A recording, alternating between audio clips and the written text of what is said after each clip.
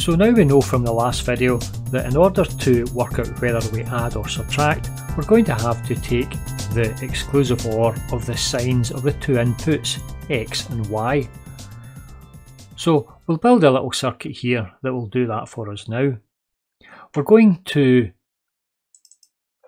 add in an actual circuit here for the add and subtract. So we'll go to project, add circuit, and in here we can call this uh, add space subtract.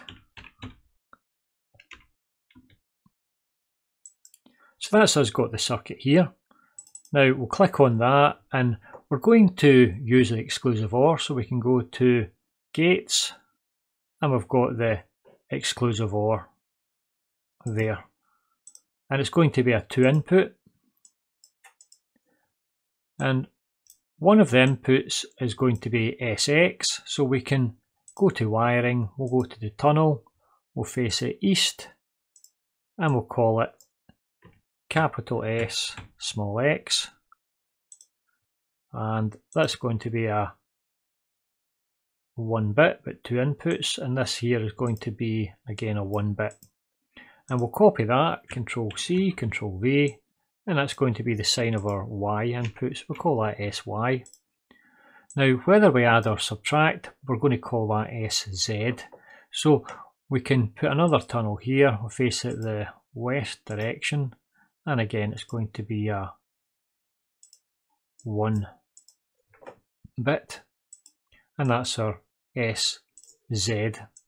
So remember, SZ is not saying the sign of the output, SZ is telling us whether we're going to add or subtract.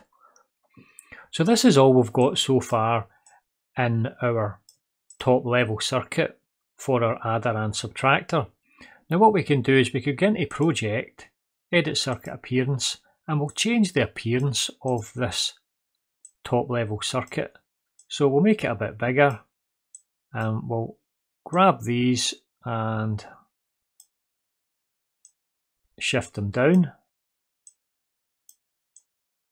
So that shifts down to there. And we'll grab that one, shift it down to there.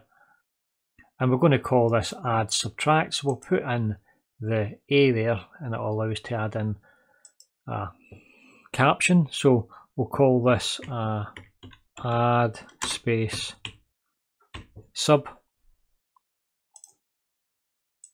Now there's nothing in it, really very little in it at the moment, but at least we've got a symbol here for it. So we can get into the top level and we can pick out this new add subtract block and we can put it here.